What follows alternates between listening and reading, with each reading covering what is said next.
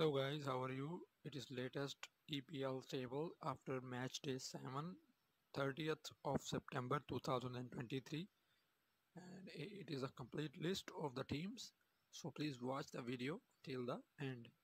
Thank you.